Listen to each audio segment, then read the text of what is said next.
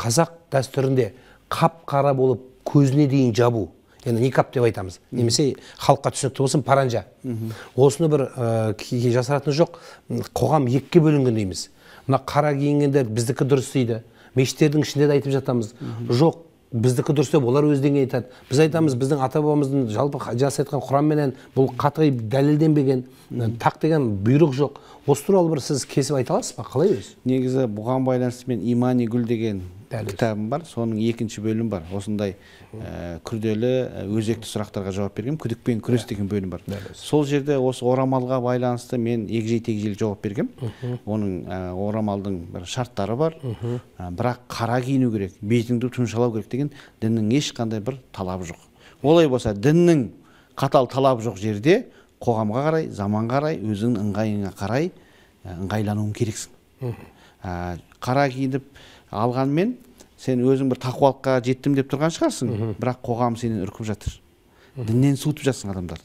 Сондықтан ондай бір діннің қатаң талабы жоқ жерде осы жағына абай болған дұрыс. Осы жерде неге біздің неге біздің жастар осыншама құмар болып бара жатыр? Бұл еліктеу ма? Жоқ белгілі бір адамдардың насихатының яки болмаса біздің насихатымыздың дұрыс болмағанынан ба неден деп ойлайсыз? Енді бұл жерде барлық қоғам жаппай қара киініп кетті бетін тұмшалап алды деп айтуға болмайды. Енді қазір білесіз ғаламтор заманы жаһандану заманы ақпарат ағыны тасқыны бар. Сондықтан кейбір ә, біздің ә, қыздарымыз қарындастарымыз сондай ә, теріс ақпараттардың ықпалына түсіп кетуі мүмкін.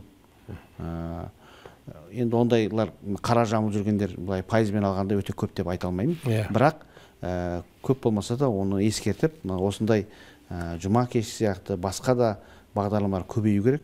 Халықтың сауатын ашуымыз керек қой былайша айтқан кезде. Барлық нәрсе сол сауатын ашуға байланысты деп ойлаймын. Жалпы жалпы мынандай мәселе бар екен да зерттеу. Адамдар неге бір басқа бір ағымға кетеді? Өз құндылығынан өз тұғырынан өзінің ата бабасының жолынан басқа неге ауысады деген кезде осы зерттеу әлемдік дәрежедегі зерттеу мынандай түсініктеме берген екен. Жаңағы айтқан сауатсыздықтан.